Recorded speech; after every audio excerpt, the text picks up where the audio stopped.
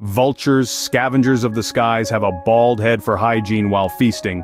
Condors, their impressive cousins, sport the largest wingspan in the Western Hemisphere. Both vital, they clean up our world. Nature's janitors, if you will.